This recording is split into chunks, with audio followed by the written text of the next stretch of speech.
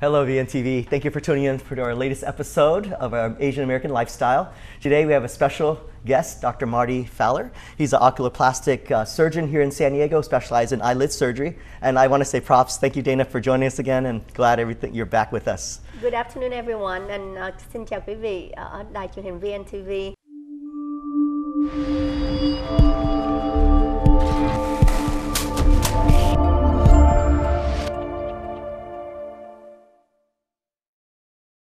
It's been a long time, Dr. Yes, Won. yes. Um, nice seeing you again. Wonderful seeing you again. And today we have that. an up close and personal talk. So Yes. Please. So please, intro- Please, please give yes. us our audience a general introduction, Dr. Marty Well, Fallor. first, I want to thank you, uh, Dr. Dr. Khoa Yes. and uh, Dana, for having me here on the show. This actually started um, based on a, a, a Facebook post that I Mm-hmm. saw from Dr. Khoa about the fountain of youth. okay, this is up my alley. This is the kind of show I want to be on. But um, thank you again for having me here today. Um, I'm thrilled to, uh, to be able to address your audience. Always great to see you. And uh, in brief, my specialty was eyelid plastic surgery, a very narrow area of, um, of plastic surgery, or uh, alternatively, the narrow area of ophthalmology. I trained in both areas, but um, I've always liked the idea of being a specialist and really narrowing down into one area, especially when it comes to surgery. Definitely. And so my specialty was eyelid plastic surgery. And in fact, my phone number is still 1 800 eyelids. Oh, wow. That's Very cool. That- that's a- that's a great how number. narrow. There was no question. I got very few calls for liposuction or rhinoplasty. Um, I can't take full credit for the number, but uh, there- John, I was going to ask about that. but you yeah, fellow. and there was another surgeon I knew, and back in Philly, where I was in Mm-hmm. medical school, he had the phone number 800 no- a nose job. oh, wow. And I thought, well, if I ever get big enough, I'm going to get me a toll-free number. too. Nice, nice. And it just so happened that It's available. eyelids is seven uh, seven characters, Uh-huh. and it was available, and I got it. Oh, that's perfect. And I still have it today. Oh, wonderful. Um, I, I, because of the the, uh, the narrow nature of the specialty, though, Mm-hmm. I chose to become uh, geographically diverse and maintain my anatomic uh, local aspects. So that Mm-hmm. uh, basically, I only did eyelid plastic surgery, but I had 14 locations throughout Oh, the state, wow. including one Wow. in Utah for a while. Wow. So um, with that, I was able to get a significant volume of uh, procedures, and um, I did about 15,000 surgeries. Wow. Uh, but after that, I did a lot of eyes. It was a lot of of eyelids, a lot of eyelids. A lot of window to look So- into. Yes, Yeah. yes, the windows Windows to to the soul and our Windows overall the Yes, soul, exactly, yes. right? Yes. And uh, with that, I developed a bit of a neck issue. And so uh, my Mm-hmm. Oh, okay. fingers lost sensation in Oh, my left hand. And they have surgery to correct it, but it's, a, it's relatively risky. Because of the repetitive nature of your work. Exactly. Right? It just the wear like and tear. all day long. The wear and tear. Yeah, so that be, uh, pretty pretty much was the end of my, uh, my, my practice a few years ago. But uh, what I realized when I stopped practicing was that I still, I still enjoyed meeting people and seeing Mm-hmm. people. And that was perhaps what I missed most about the practice. The surgery never got rote. It was never a routine because the goal was always perfection. Sure, When you only do sure. one thing, it's got to be perfect. perfect. There's no, Yeah. it's like, there's, there's good enough doesn't exist in your Definitely, vocabulary. Mhm. yes. Perfect is what, what exists. definitely. Um, But, uh, perfection is also overrated sometimes, isn't it? that can be. It Yes, can it be. can be. Sure. And one of the other t- things that people say in, in in other areas and even in surgery, sometimes the enemy of good is better. Mm-hmm. Uh, Yes. And within eyelid surgery, though, it was such a, a precise kind of a, a special. You really could shoot for perfection every time, and I and I felt that was my obligation to the profession and to the individual patient. But what I've done since then is I do some motivational speaking on occasion, Mm. Yeah. uh, but I do enjoy even just interacting with people and sharing my my experiences with them. And you know what I found has been helpful in my life, and what I've seen to be helpful in other people's lives. And that's really what what caught my eye about uh, Dr. Khoa's post a while back, the Fountain of Youth. Yeah. And immediately when I saw that. It reminded me of a story I've been retelling for a while now, and if I could retell it here, please do. give you an idea Yeah. as to Please do, yes. how, how sort of had what Sure, had and that's, actually that's the main me. thing about our show today. Our topic is actually how our mental state and our attitude it can reflect our inner and outer beauty. Exactly. And it goes hand yes. in hand. And very, very Right. much, much so. I think if you look good, you, it'll make you feel, good. But if you feel good, it'll help you to good, look good. Um, so this goes back about maybe seven, eight years ago. I had occasion to um, uh, go up to UCLA for our, where I'd done my training, and they had a special Residence Day or some type of annual uh, teaching class. And I would go every year to my eyelid plastic surgery course. I call it my eyelid plastic surgery course. We started it quite some time ago, and uh, I was part of it. And uh, I continued to go even though I, I no longer practice. Uh, but I'd see those people every single year. So you know you don't change much from day to day. Sure. You don't even change much even if you see people only once a year. That's right. But you know over a period of time you could see the changes. So I went to this event. It was being given by the, the main speaker. The keynote address was being given by uh, Dr. Cesar Chavez. Okay. I don't mention. I don't mind mentioning him by name. He's in practice here Yes. in Encinitas, and it was all about the connection between uh, diabetes, which is very prevalent Yeah, in the uh, Hispanic so. community, Very. Unfortunately, and yeah. and of course the, the impact on eyes, which you're very Oh, I familiar see with. you of see it all the diabetic retinopathy, time. unfortunately, yes. And the connection with that and soft drinks, the sale of Oh, soft gosh. drinks, Oh. and Oh, sugary gosh. drinks, Get and Gosh. and weight and all that. I thought, you know what? I haven't seen Cesar for years. Mm-hmm. I want to go see him.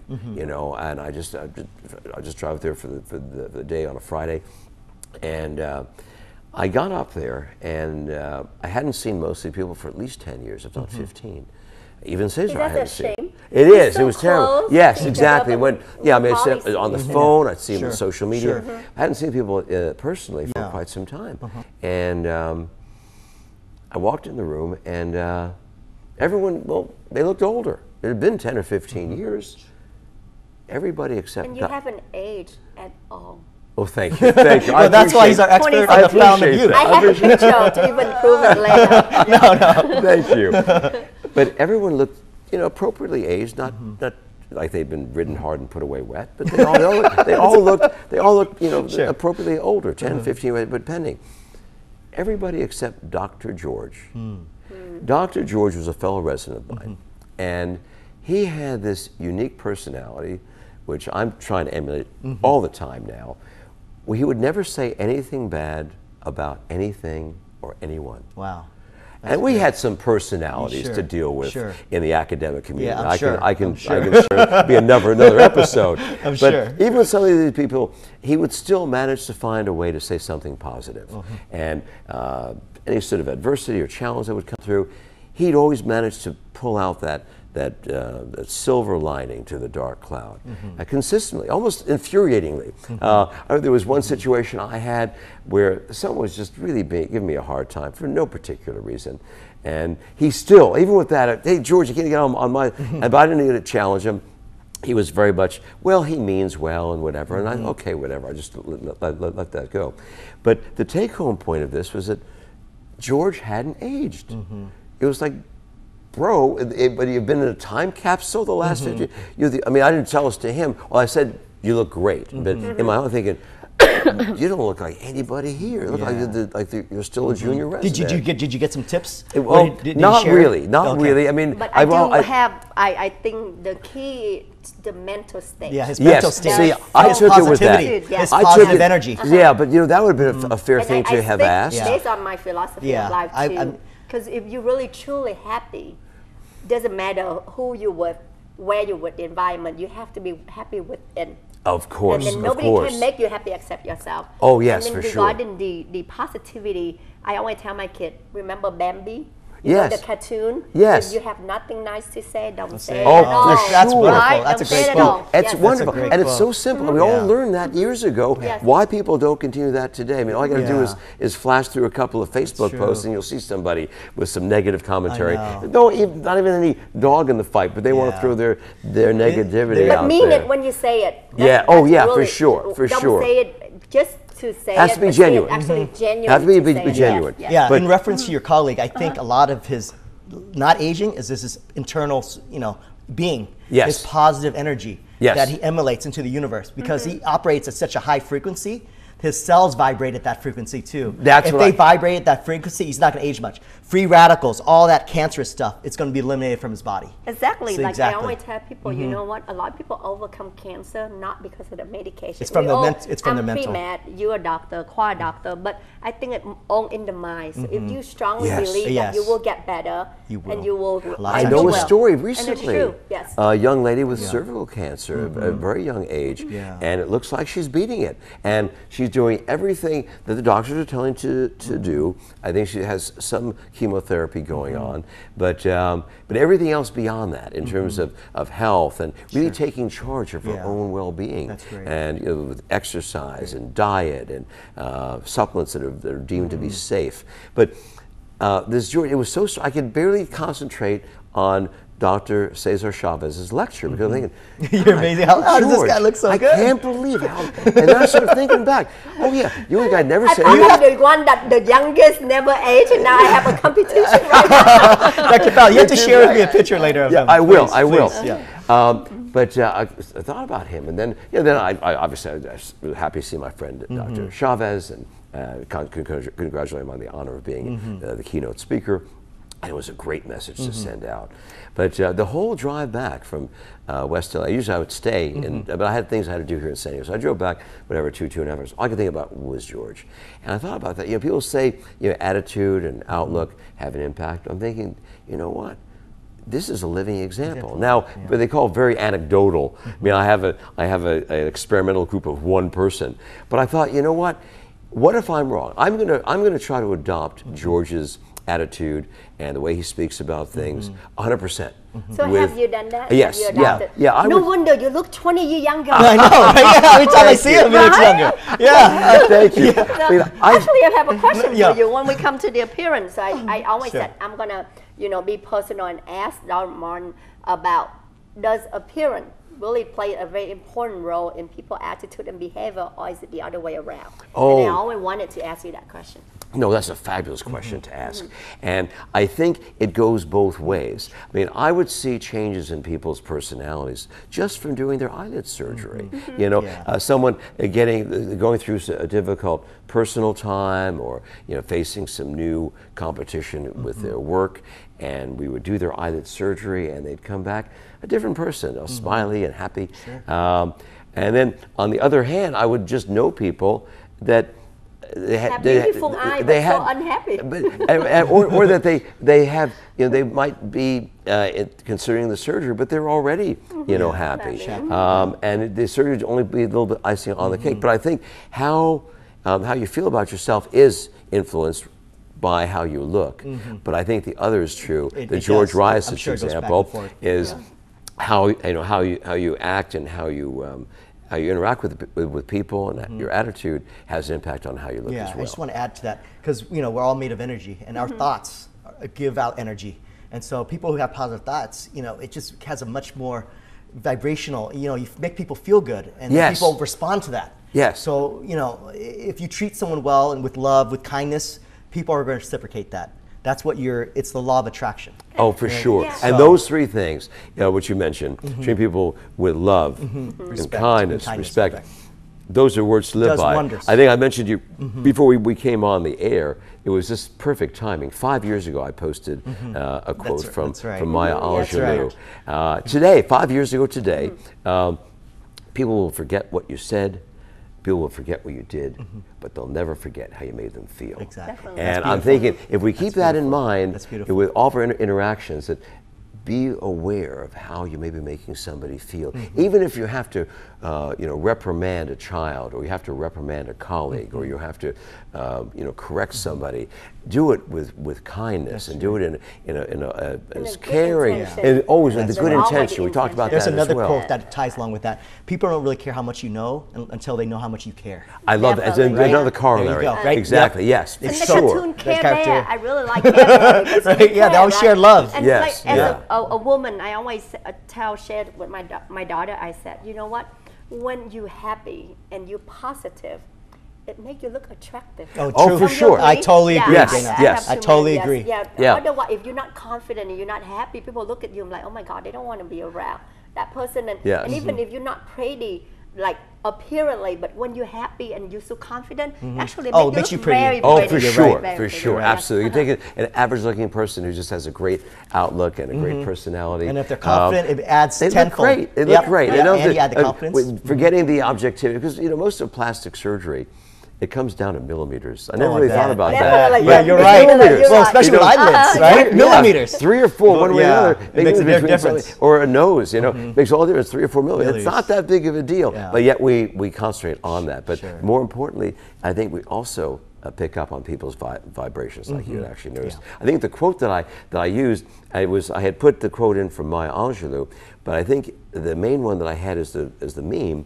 was how you make people feel about themselves uh, reflects on on the kind of person you are, or something to that. that, Yeah, that yeah. effect. I got to go back and check Okay, it again. sure. But But but, basically. I, I'm I'm very in tune to how an interaction with somebody can uh, can make them feel. See, thinking back with our history, my interactions with you have been always so positive. Whenever I see you, always. you light up the room, and I'm like, I feed Thank off Of of you. that. course, because you're at the party. So No, but still, I know that's true. Whenever I the see Marty, he's always the life You of the have to party, by the way. him Thank you. after But, the party, but this we man is talk, a, a walking sunball of energy and positive energy. Thank I love you. that about you, Marty. Thank you. I appreciate that. And I think that. the world need more of that. And Exactly. I think we truly, really want to help our generation, especially the younger generation, with all the social media, the facade of the social media. We want to make sure that they understand one thing in life: that if you don't have, you have great intention, Yes. go a long way. No, for and, sure, and, I and agree. treat people with kindness and, and with care. You want to treat them the way you want them to treat you. That's all. And- and golden all golden That's all rule. is. That's a Do unto others. That's a golden rule. Yeah, I mean, people uh, uh, talk about different uh, different religious beliefs and everything else, and I have, I have no problem with all those things. My basic religion is the golden rule. Yes. Do unto others as you have them do unto you. And whatever the little stories are and the fables that go along, those are all fine. yeah. At the end of the day, it depends on how you treat somebody else. Yeah. And if you keep in mind, how would I feel if, when I was uh, interviewing for, medic, uh, for residency, Mm-hmm. actually in ophthalmology years ago, I recall one particular interview. Out of all the ones I, I went to, not the one I ended up going, I went up going to, U, U- to UCLA, Yeah, yes. but there was a very famous ophthalmologist who was a chief at Mount, Mount Sinai. Mm-hmm. And uh, I had gone to a, a five year medical program. It would cut three years off of college. We still had four years of, Yeah, of medical wow. school, but it was Accelerated they- program. accelerated program. Yes, Yeah. yes. And so I was younger than everybody else, Mm-hmm. anywhere from you know three to four years, and some guys were even older than the average. But I was at least three years than, than the average.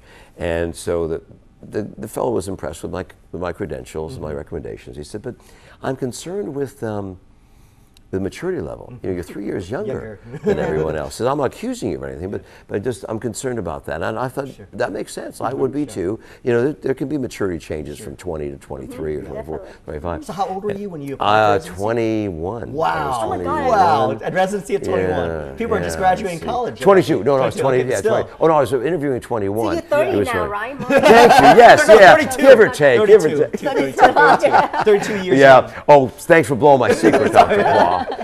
30. Perfect age. Isn't your best friend Benjamin Button? Yes. a few close friends of mine call me that. Like Benjamin Button.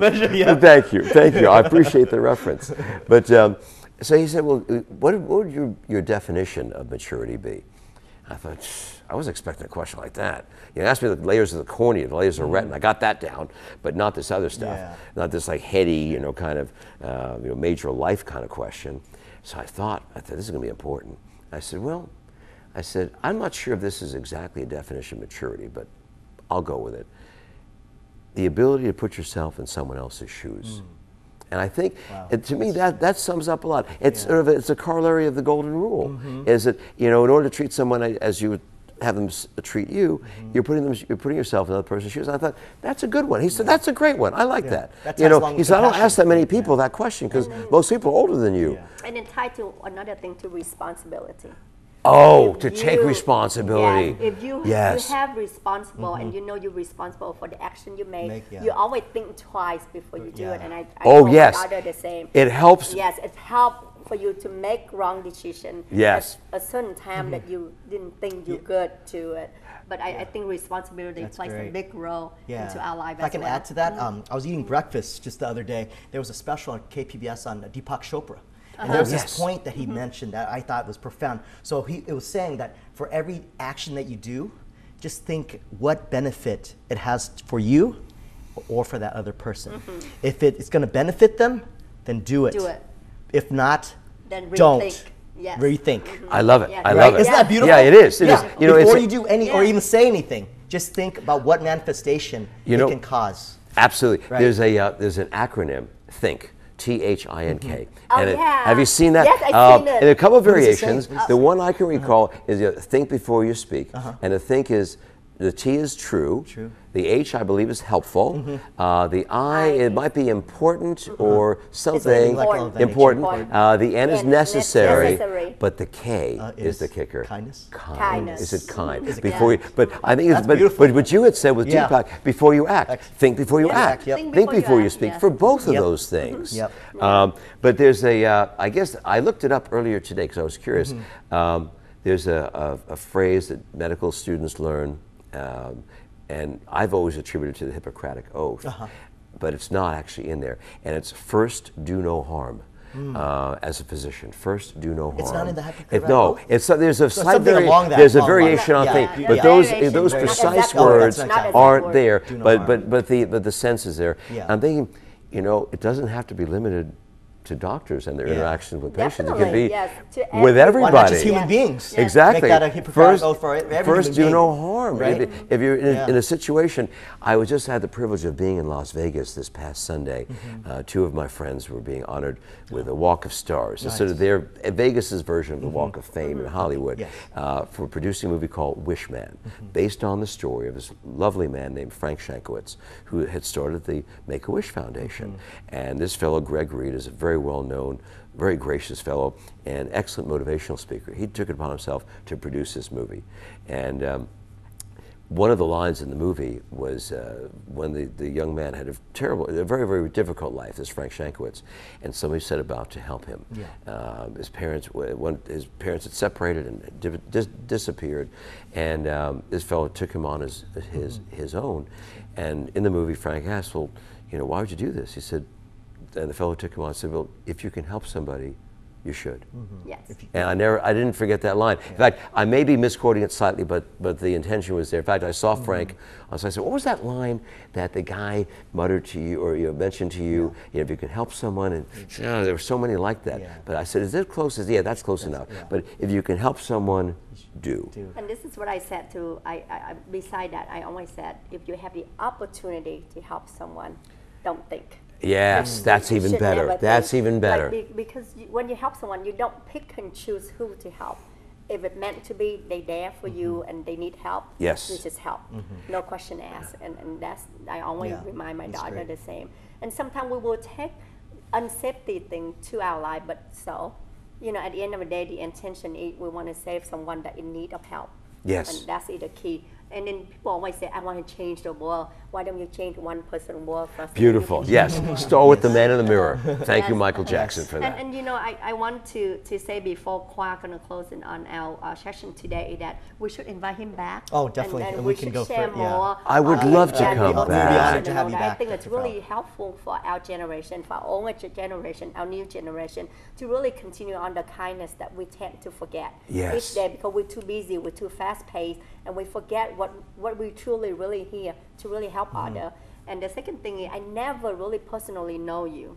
We always met at the party, and Yes. today I actually like you a little more. Thank you. So, Thank you. So I hope you keep that up. Yeah, I appreciate that. Appreciate you. that. So please- Yes. Uh, I want to thank VNTV, and I just want some closing thoughts. I want to talk, thank Dr. Marty Fallor Yes, for your of course. insight. That was you. beautiful. I want you to t- introduce your friend Benjamin Button to us and maybe Yeah. next time. talk, to him, talk more about him. Right, uh, In reference, who don't know, Yes. Meet Benjamin Button is a movie with Brad Pitt, and it's basically a man who was born old and then aged to youth. So this is the man. he's still in his mid, early It's stages. based on my life. He's going. He's go, every time I see him, he's going younger and younger. Yes. But um, Thank you, you. make you make 30 look 15. Thank you. Thank you. So I, I'm going to personally try to learn as much from him, and of course Thank from my beautiful co-host Dana. She's always sharing I'm her wisdom, and she's too. and so um, yeah, I, I really appreciate you, your support, VNTV, and uh, please give us your feedback and uh, whatever topics you want us to cover. And uh, thank you again, Dr. Marty Fallor. Thank you, And Dr. Khoa. Thank you so Appreciate the opportunity. Pleasure. And I'll see you again. We definitely Thank will have you. back, and thank you for joining us. Wonderful. Thank Have a great day, Have a great day, everyone. everyone. Yes. And have a great weekend.